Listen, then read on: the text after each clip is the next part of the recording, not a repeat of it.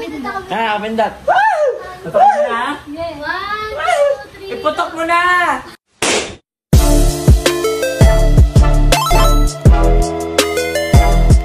Welcome to Adam's World. Hi guys! Welcome back to RM's World. I am RM's mom. Ako muna mag-i-intro for this vlog uh, because today is a very special day for our family dahil we'll be having a gender reveal for our second baby. At ako, ako lang yung nakakaalam sa buong family namin. So, samahan niyo kami to know the gender of our baby.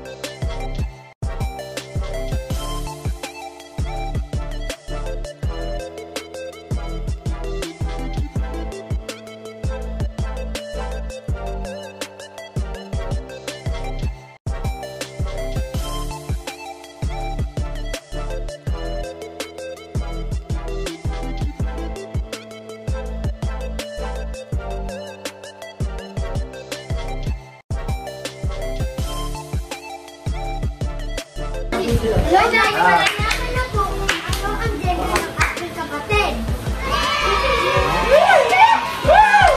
Ano ba yan? Nakapindot ka video. Ah, may nakapindot ako. Ah, nakapindot.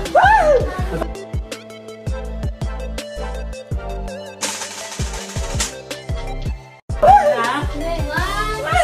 Iputok mo na!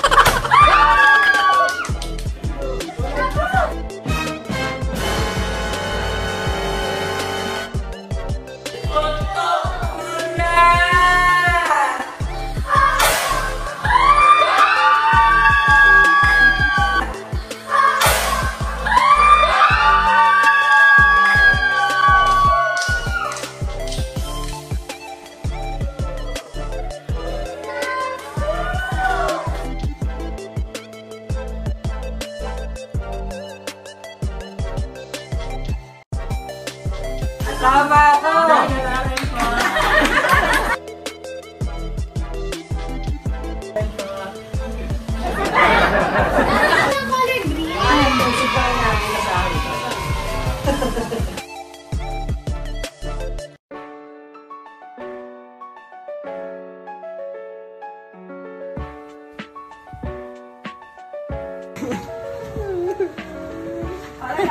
Ano ang color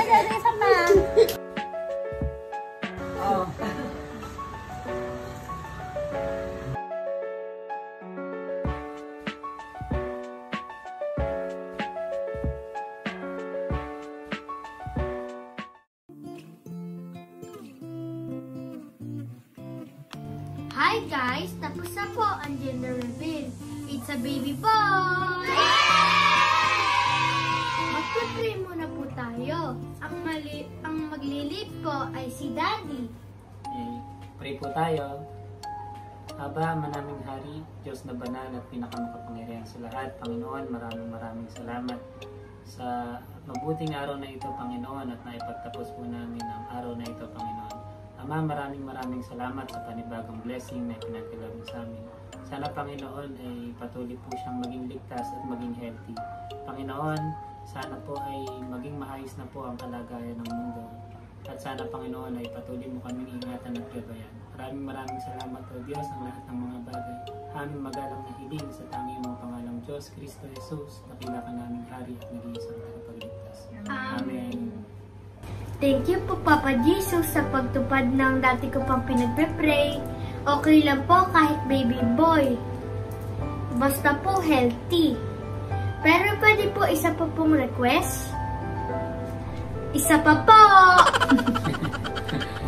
Thank you guys for watching and for supporting and loving our family.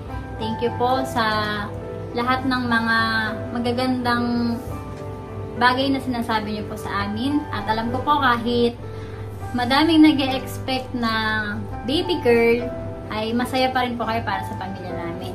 Napakalaking blessing po na magkaroon ng another baby. At dap, lagi po nating tatandaan na hindi ibibigay sa atin kung ano yung gusto natin. Ang ibibigay sa atin kung ano yung deserve natin. Kaya, thank you po ulit. Ingat palagi. God bless. Thank you po sa lahat ng sumuporta. Please subscribe and hit the notification bell. Keep safe. Bye!